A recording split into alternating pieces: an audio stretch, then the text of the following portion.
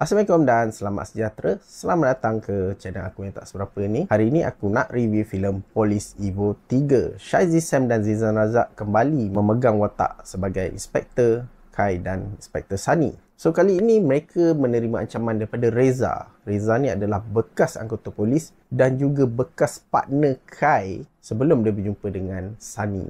So Reza ni kembali dia nak balas dendam kepada seluruh anggota polis terutamanya Kai. Sila itulah dia storyline cerita ni. So, kita terus jump in kepada benda-benda yang aku suka tentang filem ini. Okay, benda yang pertama aku suka adalah lakonan. Of course, lakonan Shazi Sam dan Zizan. You know, dalam filem ni kau akan boleh nampak yang chemistry antara Shazi Sam dan Zizan sebagai Kai dan Sunny semakin baik diorang ni dah bonding dengan sangat baik sampai aku rasa macam tak adalah dua karakter yang macam diorang ni dalam filem Nisa. Gandingan diorang sangat baik. Seorang berperangai lebih serius dan keras, seorang lagi ni jenis relax, tenang dan suka melawak.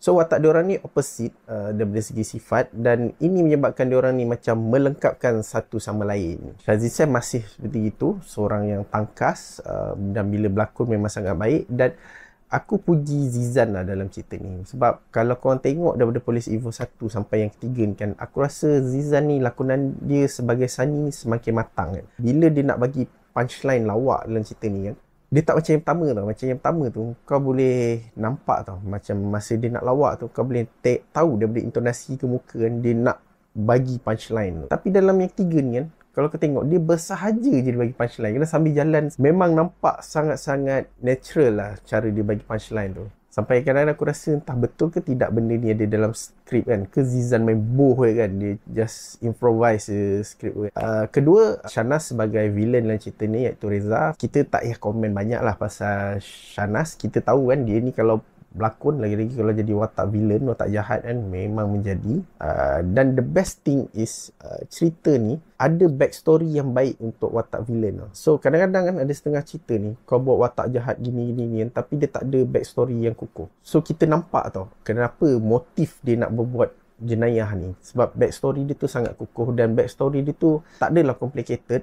kita sebagai orang biasa ni pun boleh relate dengan dia kan? Sebab kadang-kadang ada setengah cerita dia buat villain tapi tak ada backstory. So ni menyebabkan kita sebagai penonton kan tak rasa macam invested dengan watak orang jahat tu kan? So aku suka lah watak ni dengan lakonan Shanas dan backstory dan motif dia tu memang sangat-sangat baik. Lagi benda yang aku suka adalah action sequence uh, fighting scene dalam cerita ni. Uh, sangat-sangat baik. Cuma masa starting cerita ni scene dengan ada Michael Ang melibatkan Michael Ang tu ada kurang sikit. Yang tu nanti aku cerita kita kemudian. Tapi selepas tu, uh, aku suka fighting scene dia sedap.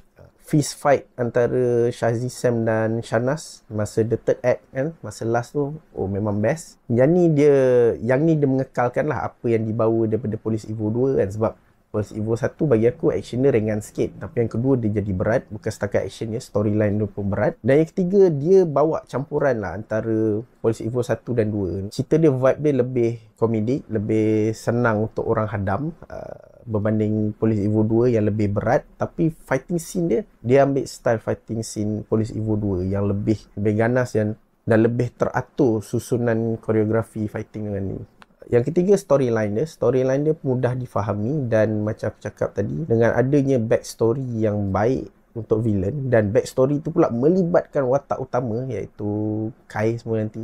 Susun atur cerita tu apa semua memang sangat teratur, kau senang nak faham, tak boring, tak ada part yang aku rasa macam slow ke apa. Cuma and then storyline pun kalau kau tengok filem ni dia start dengan sedikit komedi action. And then dia pergi into deep semakin lama storyline dia semakin berat, macam-macam motif keluar. Dan pada final act tu memang tahap intensity dia Oh memang sangat-sangat buat kau terasa lah kan. Lagi-lagi scene dekat Bukit Bintang tu kan. Buatkan aku pun macam Oh berjaya ke tak ni kan. Okay seterusnya aku suka Asal continuity uh, Daripada filem-filem sebelum ni. So itu aku tengok interview pengarah dia cakap yang dia nak kembalikan cerita ni macam Polis Evo yang pertama, cerita buddy cop kan. So masa tu aku terfikir, alamak adakah dia orang akan buried, akan tanam cerita Polis Evo 2 kan? Sebab dia nak buat macam continuity daripada Polis Evo yang pertama. Sebab kalau korang ingat lagi, Polis Evo 2 tu masa nak ditayangkan, uh, dilanda kontroversi. Uh, sebenarnya bukanlah kontroversi apa, cuma adalah pihak-pihak yang tu kan, yang korang tahu kan. Dia orang tak senang tengok filem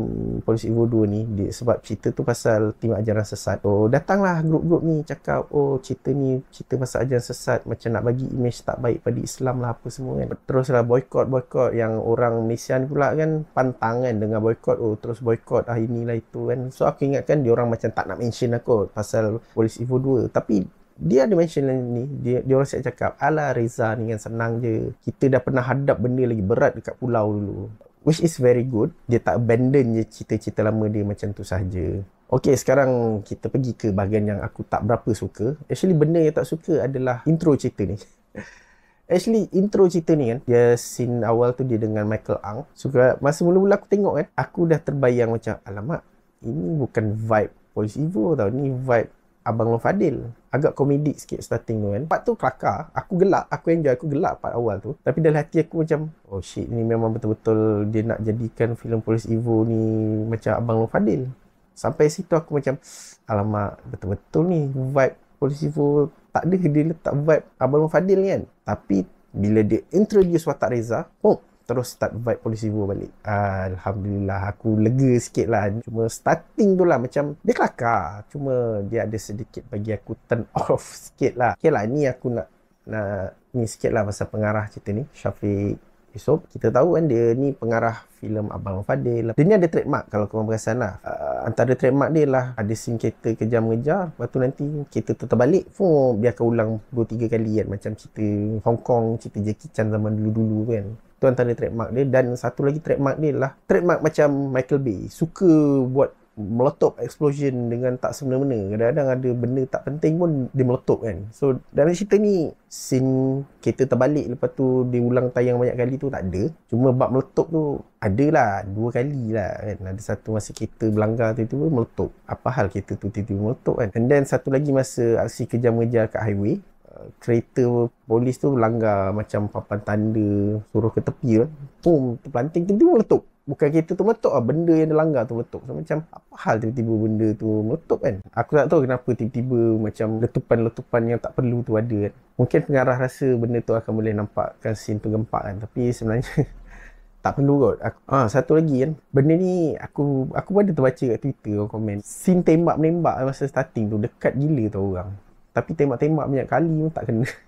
tu ya pasal aku cakap starting tu ada vibe Abang Fadil lah. Kalau cerita Abang Fadil tu kita nampak macam logik lah untuk tembak dekat macam tu tak kena kan. Tapi untuk Polis Evo, ah, part tu memang potong sikit lah. Tapi Alhamdulillah nasib baik lah overall cerita selepas benda tu best. So aku boleh lah tutup sebelah mata. Uh, seterusnya apa yang tak suka adalah tentang watak tambahan. Inspector Julie lakonan Faralihan dan juga Dani lakonan Syafiq Kyle. Bukan aku tak suka dia orang, aku tak suka lakonan dia orang. Bagi aku lakonan dia orang okey. Uh, Farah Lihan dia buat watak seorang sniper. Seriously, aku suka watak dia. Watak dia seorang perempuan yang tegas. Dia no nonsense punya orang. Dia tak adalah nak berbual-bual kosong ke. Dia jenis straightforward, no nonsense, serious dan jenis kalau kau tengok dia pun kau tahu dia ni memang jenis perempuan garang. Jenis kalau kau wait hai jalan seorang je kak, memang kau kena terajang dengan dia karakter dia tu personality tu bagus. Tapi itulah watak dia hanya sekadar macam tu je. Kewujudan watak dia hanya sebagai dia tak banyak screen time tak ada sangat karakter development untuk dia. Sayanglah bagi aku sebab watak dia bagus tapi tak dikembangkan tak ada pengolahan untuk watak dia kan. Sekadar macam tu je. Uh, sama juga dengan watak Dani lakonan Syafiq Kal. Sebab kita pun tahu Syafiq Kal tu seorang pelakon yang bagus. Dia jadi pakar bom dalam cerita ni. Tak banyak screen time untuk dia. Tak ada character development. Aku ingatkan macam starting tu dia ada macam sedikit beef dengan Zizan. Sebab dia ni bukan daripada balai polis yang sama dengan Zizan dan uh, Shazi Sam. So masa first time Zizan jumpa dia pun macam wah daging import eh. Ini asal datang ni. So kat situ macam ada sedikit beef between them. Sayangnya dia tak uh, create something about that lah. Just habis macam tu je. And sayang kedua-dua watak tu tak dikembangkan dan tak diberi screen time yang lebih banyak. Yang ketiga, uh, okay lah, yang ni last lah benda yang aku tak apa suka sangat pasal cerita ni. Apa yang pernah aku baca, uh, dia cakap Polis Evo 3 ni adalah penamat kepada trilogi filem ni. So lepas ni dah tak ada lagi dah uh, Inspektor Hasani dan Kai itu apa yang aku baca lah kan. Uh, so bagi aku lah kalau betul ini penamatnya uh, aku rasa tak puas hati dengan ending ni sebab at least bagi dia satu ending yang memorable yang orang akan ingat tau. Uh, sebagai contoh macam Guardian of Galaxy 3 kan ending dia tu ha, bila dia aku tak nak cerita kan aku takut ada yang tak tengok lagi. Dia bagi closure untuk setiap watak dengan baik lah. So kau pergi sini, kau pergi sini, kau jadi ni, kau ni apa semua kan. And then dia bagi, dia buat satu scene, satu moment yang sangat-sangat baik yang kita sebagai penonton pun terasa dan ingat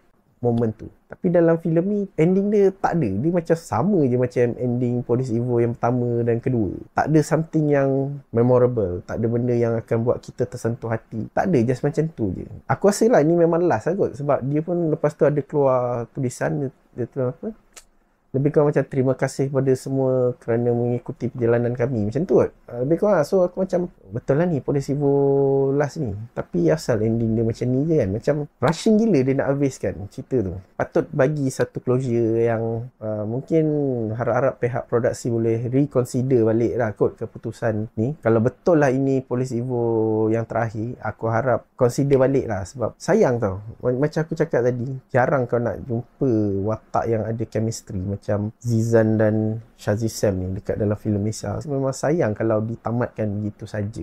Ha, aku harap-harap adalah Polis Evo 4 dan lebih gempak lah daripada filem-filem yang sebelum ni. Ha, ni soalan biasa orang tanya kan. Kalau filem tu ada sequel kan macam sekarang ni. Mana satu filem paling best? Actually ni personal aku lah. Aku lagi suka Polis Evo 2 Sebab cerita dia macam lebih berat. Orang jahat dia Villain dia tu lebih sukar untuk kau nak tangani kan? Lagi intense. But bagi aku ketiga-tiga filem ni okey je. Semua best. Kau boleh layan. Bagi aku um, perfect trilogy lah. Satu cerita yang bermula dengan ringan dekat Terengganu kawasan kampung pergi ke pulau melawan teroris dan sekarang melawan dengan seorang yang ada personal vendetta dengan polis Malaysia very good trilogy aku kalau kau tak pernah tengok langsung polis Evo 1 2 3 ni kan pergilah tengok. Uh, boleh tengok dulu Polis Evo 1 dan 2 sebelum tengok 3. Aku jamin korang puas hati. Dan macam aku cakap dalam video sebelum ni, korang janganlah letak setting mode otak korang tu sama macam korang nak bandingkan dengan setting mode filem Hollywood. Uh, korang kenalah ada mode bila korang tonton filem tempatan macam mana kan. Korang kena ingat lah macam production value filem kita tak macam production value filem Hollywood. Mahal. Dia orang boleh buat cantik-cantik kan? Kita tak boleh. Kena ada setting tu lah dalam minda kita so apa rating untuk filem Polis Evo 3 aku bagi 8 per 10 untuk Polis Evo 3 ini rating untuk Polis Evo 1, 2 dan 3 lah. Aku bagi sekali semua rating kat sini. So actually kan aku rasa sangat-sangat senang hati lah bila tengok Polis Evo 3 ni. Sebab awal tahun aku tengok Coast Guard Op Selang pun best.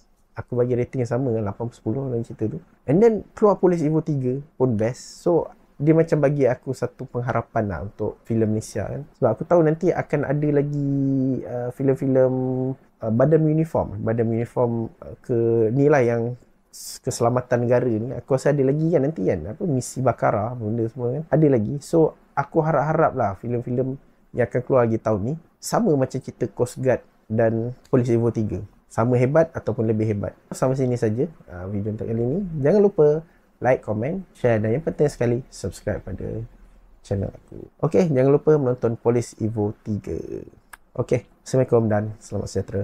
Bye